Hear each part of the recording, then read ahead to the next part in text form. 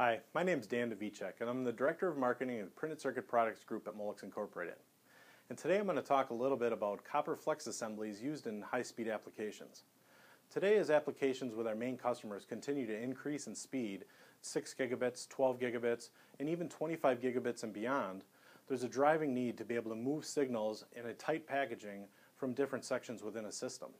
This could be within a box, going from one side of a backplane to the other side of the backplane. This could be going from a blade server to a blade server, or even in some open applications in which drawers are moving back and forth while still needing to maintain the integrity of the high speed and power. Molex, paired with our connector offerings in terms of high-speed backplanes and high-speed board-to-boards, has a very broad range of offerings in terms of these copper flex circuit needs. Taking a look at some of the multi-layer flex circuits paired with backplane connectors and how we can move from board to board and from server to server at these 12 and 25 and even beyond. Taking a look at some other applications with rigid flex allows us to really do certain things from a packaging standpoint that allow ultimate flexibility in the overall assembly, but also maintaining those high-speed signal needs by minimizing the interconnect and discontinuities through that system.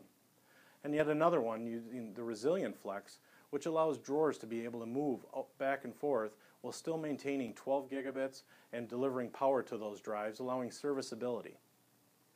Molex offers a broad range in these and has been able to continue to develop these speeds based on what we know from a manufacturing standpoint, what we've developed with our key partners from a materials side, and also keeping up with some of the leading technologies that are developed primarily by our, our connector group. For more information about copper flex assemblies used in high-speed applications, please visit molex.com.